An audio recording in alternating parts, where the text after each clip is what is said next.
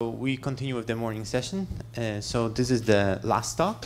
Uh, we're pleased to have Satoshi Yoshida from the University of Tokyo, and he will be telling us about how to reverse uh, qubit unitaries. So please take it away.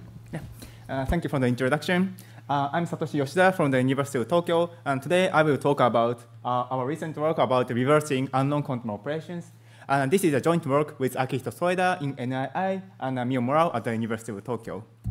Okay, so this is the outline of this talk. Uh, first, I will talk about the general perspective on the higher order quantum operation, which is the main topic of this talk. And then I will talk about our uh, main result about the reversing quantum operations. And finally, I will talk about the future work related to this work.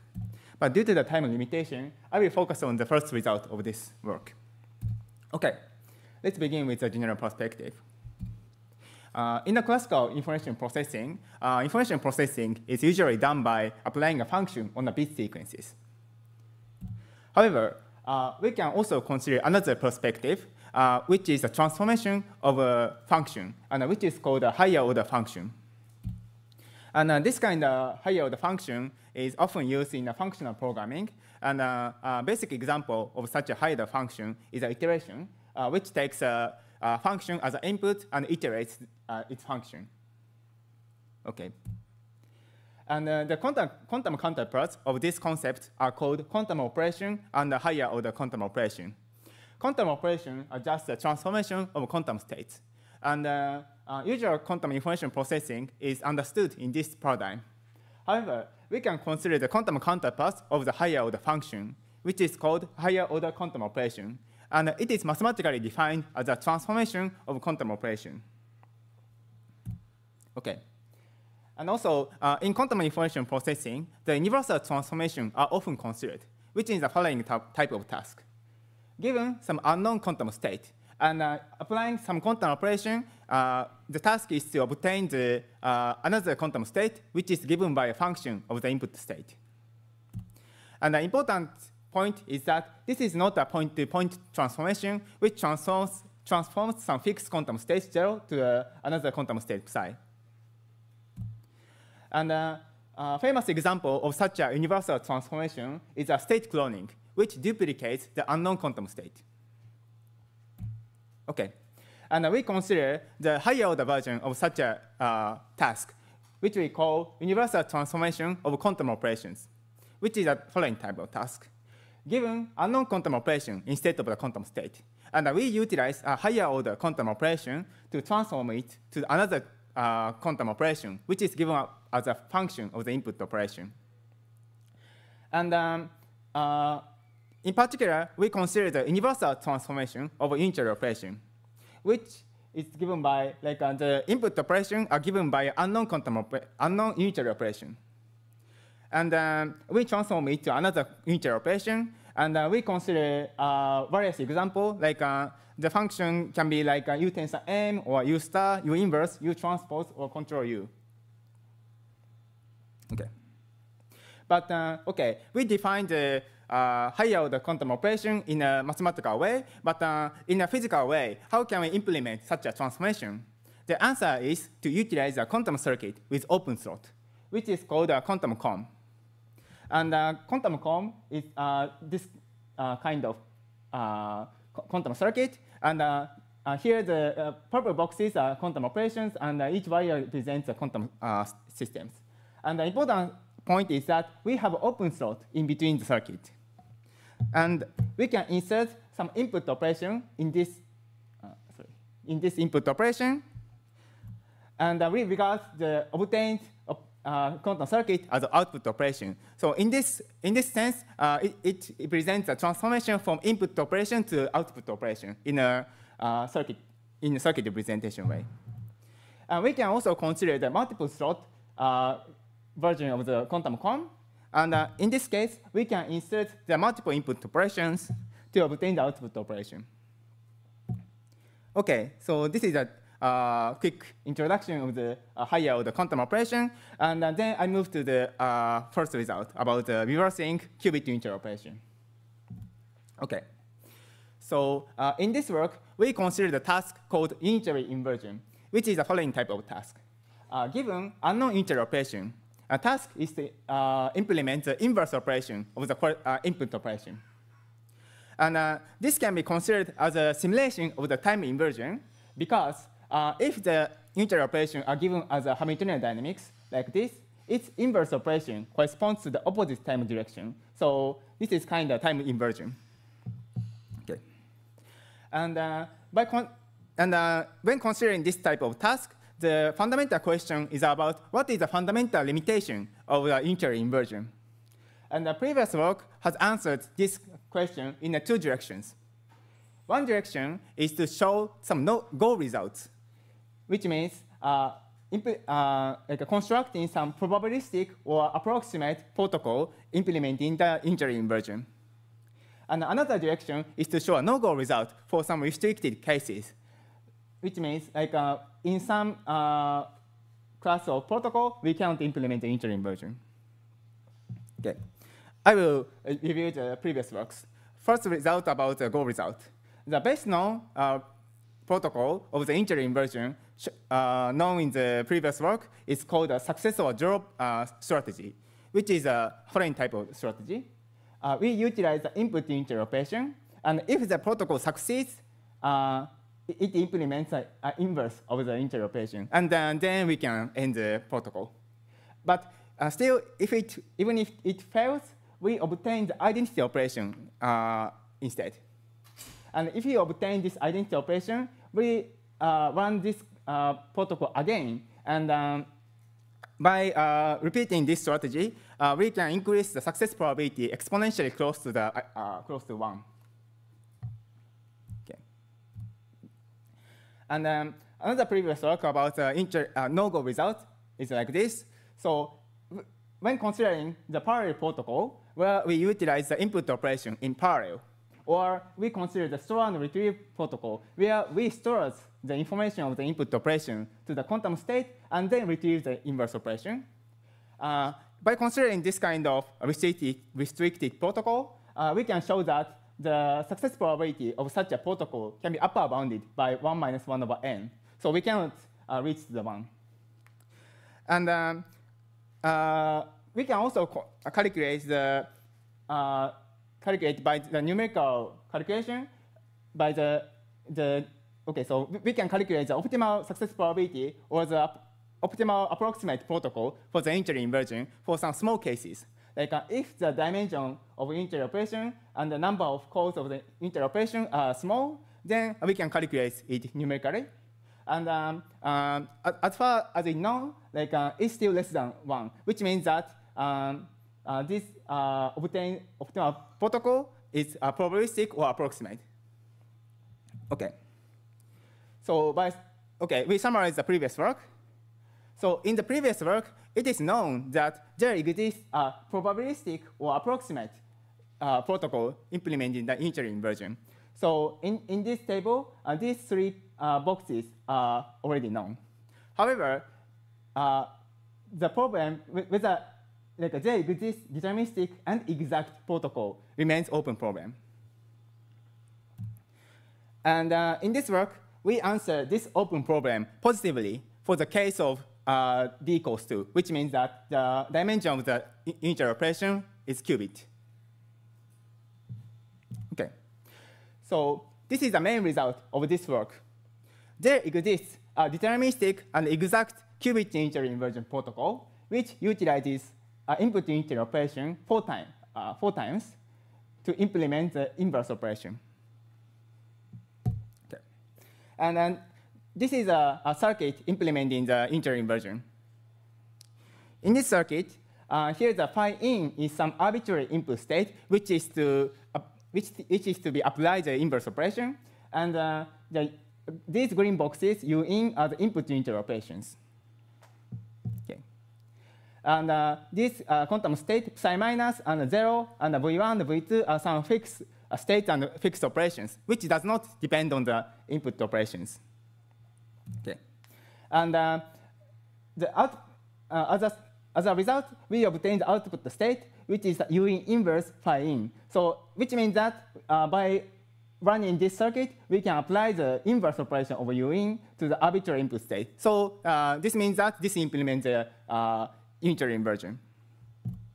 And uh, as a byproduct, we obtain auxiliary output state like this. Okay. And uh, here, the quantum state psi minus is defined as an antisymmetric two-qubit state. And uh, this quantum state, uh, like uh, the output auxiliary state psi u in, is defined as a quantum state which is obtained by applying u in to the psi minus. And uh, if you look at the, this quantum circuit very carefully, we can uh, find that uh, this quantum state also appears in the, in the input side. And uh, actually, this, um, um, like, um, this, uh, this fact is very important in the uh, following uh, discussions. Okay. Okay. And by looking at this protocol, we can also find that this protocol has a repetition uh, structure. Like uh, we repeat the uh, first, first circuit twice, basically. Okay. Okay. And the this unitary operation V1 and V2 are constructed by uh, uh, some quantum circuit called the Clebsch-Gordan transforms, which is uh, related to some representation theory of the unitary group. like we cannot explain the detail about uh, we cannot explain the explain about the detail here, but uh, if you if you are interested in the detail, uh, please look at our arXiv paper. Okay, so then I move to the uh, explain the characteristics of this protocol. Uh, first characteristics is about the catalyst. And uh, as I explained before, the, this quantum state, sorry, this quantum state psi u in appears uh, in the output side and input side, which means that we can reuse this quantum state to the input side. Okay. And uh, by schematically, uh, we can write, we can write uh, our circuit like this. By using in input unitary operation four times, we obtain the inverse operation u in, and uh, as a byproduct, we obtain the psi u in. And uh, we can reuse the, this quantum state psi to the, another one of the unitary inversion like this. So by adding uh, additional three extra calls of uh, input operation, we can implement the inverse operation again. And uh, we also obtain the psi u in again, which means that we can uh, repeat this strategy. Okay. So in this sense, we call that uh, this quantum state psi is a catalyst state because uh, this quantum state does not change before and after the protocol. Okay, and uh, I remarked that uh, without this catalyst state, this transformation is shown to be impossible. So uh, this shows the uh, uh, usefulness of this catalyst state in the unitary inversion protocol. Okay. And okay, I move to the another characteristic of this protocol, which is about the cleanness of the protocol. Okay, so uh, if you look at the out output auxiliary state, uh, this quantum state depends on the input unitary operation. So, which means that if uh, from the observer who does not know about the input unitary operation, this quantum state looks like a, a maximally mixed state. So, which means that if we want to initialize this quantum state to, to, to, to be reused to another uh, protocol, uh, we we need some initialization cost, which is uh, given by a entropy of the uh, maximally mixed state. However, uh, we can uh, invent a, a, more clever way to uh, initialize this quantum state. Uh, by looking at the symmetry of the quantum state, so if we apply the u in again to this quantum state psi u in, we can show that this is equivalent to the u in u tensor 2 psi minus. And uh, since this psi minus is an anti-symmetric quantum state, which is invariant under the U tensor 2, so uh, we obtain the uh, quantum state which does not depend on U in. So which means that by adding extra call over U in, uh, we can make the, this output auxiliary state independent on U in. Okay. And uh, in general, we call such kind of a protocol as clean protocol, and we define the clean protocol as follows. We consider the transformation of unitary operation like this, and uh, if the um, auxiliary output state of the protocol does not depend on UIN, we call it as a clean protocol. And a clean protocol has two good points. One good point is about uh, we don't need any initialization cost of, of, uh, this auxiliary output state. And uh, so we can easily reuse it to another protocol. And uh, another good point is about we can controlize this protocol if it's clean. And I will explain about uh, this, this fact in the next slide.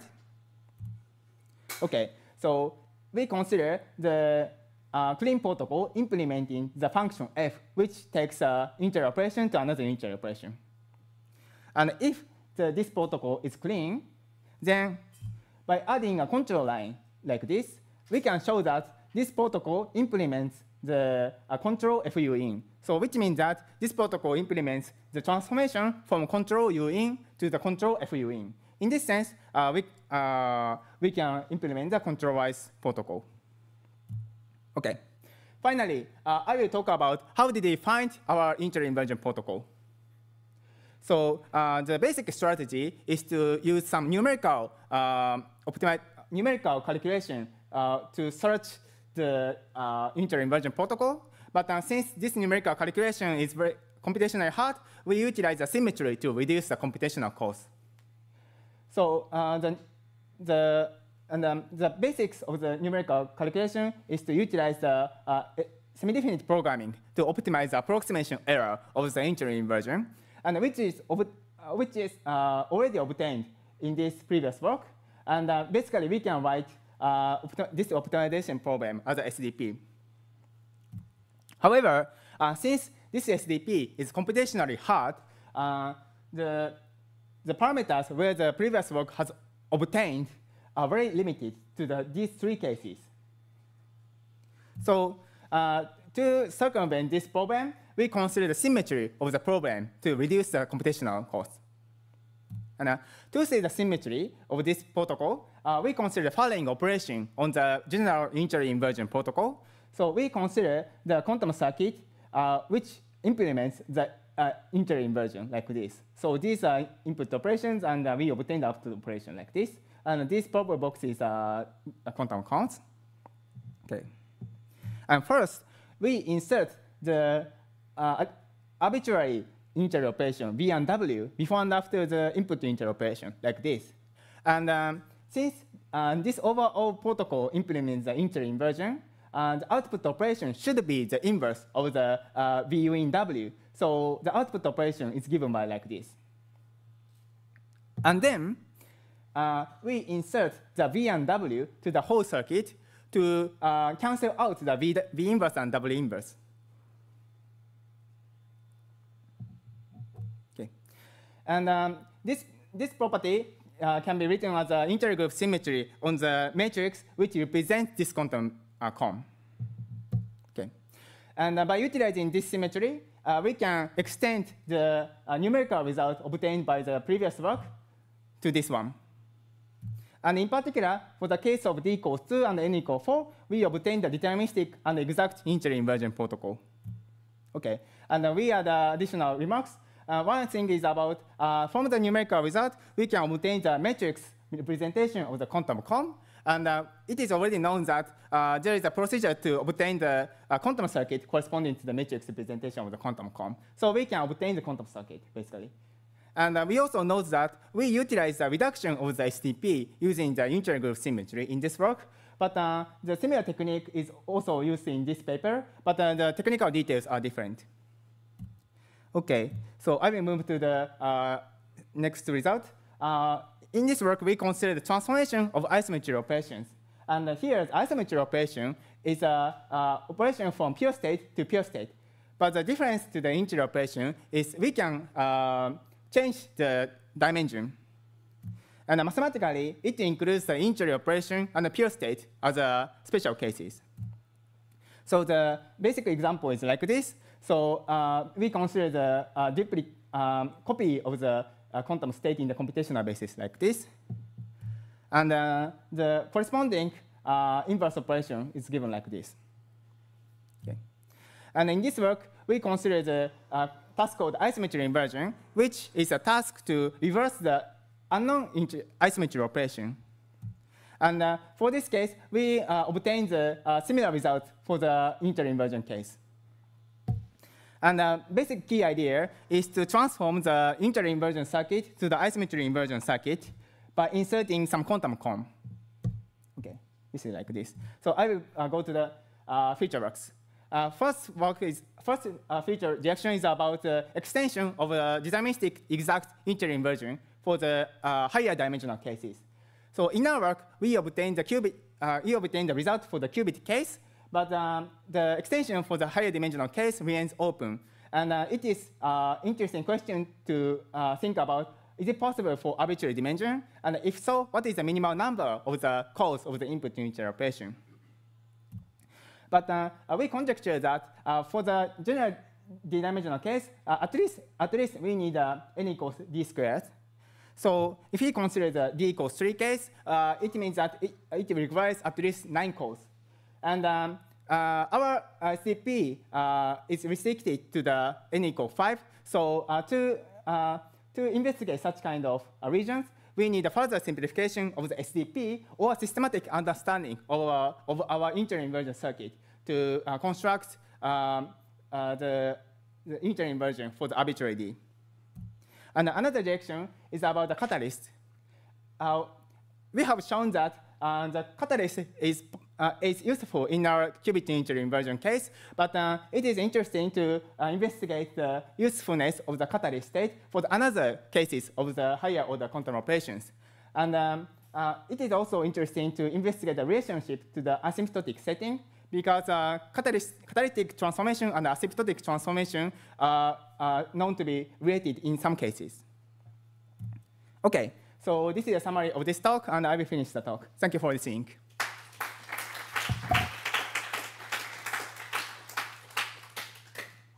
Thank you, Satoshi, for a very nice talk.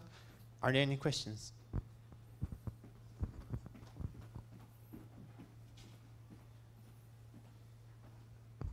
Uh, thank you for the talk. That was a very fun problem.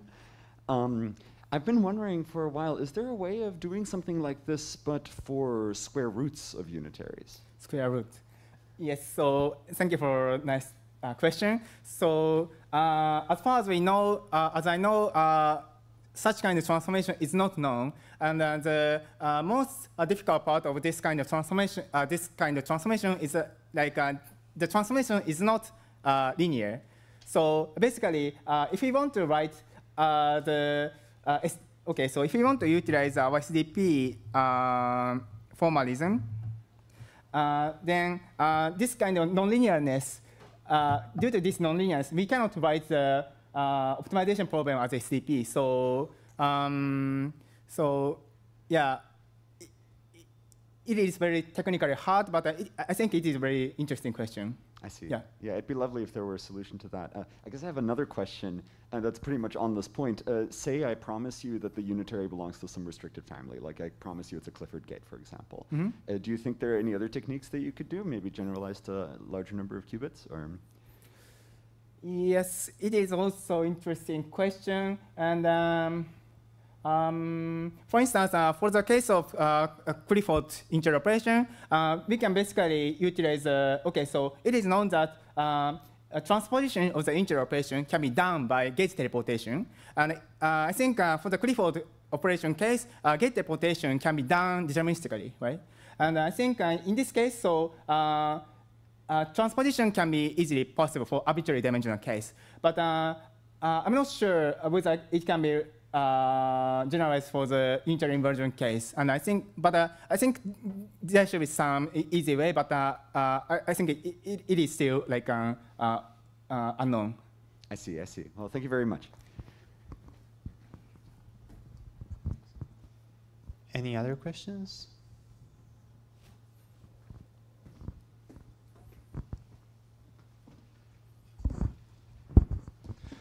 Uh, thank you for the wonderful talk. I was wondering about uh, the precise protocol because you said it has two parts which are the same, and mm -hmm. then mm-hmm. you just apply the, that thing twice, no? Mm -hmm. And this reminds me a bit of the power matrix polynomials which are known to exist in like very specific dimensions, like for example dimension two, but not in dimension three. So, well, my question is, what does this the state look in the middle before you apply it for a, for a second time? Yeah. Uh, thank you very much. So basically, so uh, this quantum, uh, okay, the whole uh, quantum system is a, a seven qubit system.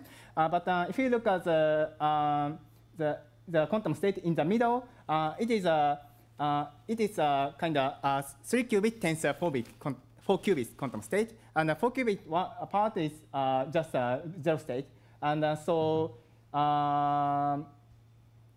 yeah, but the the the this three qubit state is uh, a complicated, some entangled state, and uh, I, I, I don't know what is a, a simple way to describe it, but um, yeah, like uh, it, it, it, it is some three qubit state. So we can we, we, we can uh, consider this uh, protocol as a okay. We are given three qubit state plus a, a zero state, and we transform it, this three qubit state to another three qubit state with the additional uh, like ancilla, and uh, and uh, we we repeat this transformer again to obtain this quantum state. we we can in interpret this protocol like this. So you, you have no interpretation for the state in the middle? As far as I know, okay. no. And do you, do you have any hunch on what happens with higher dimensions? That do you think such a protocol can exist um, or not? Yes, so um, I think so. Uh, like um, basically, the uh, all the components in this protocol is uh, described by a very symmetric way. Like for instance, uh, the input state uh, appears in here is anti-symmetric state, and we can uh, generalize it to the arbitrary dimensional case, like um, by considering DQD state. And also the um, the the quantum operations inside the, this unitary operation are Clebsch-Gordan transforms, which can also be general, generalized to the arbitrary dimensional case. But uh, we also have some uh, additional uh, parts like uh, described by this swap gate. And um, uh, I, I, don't know how to uh, generalize these parts to the arbitrary dimensional case. So th that's why we don't, we are still doesn't have a arbitrary dimensional unitary inversion circuit. Okay, thank you. Yeah.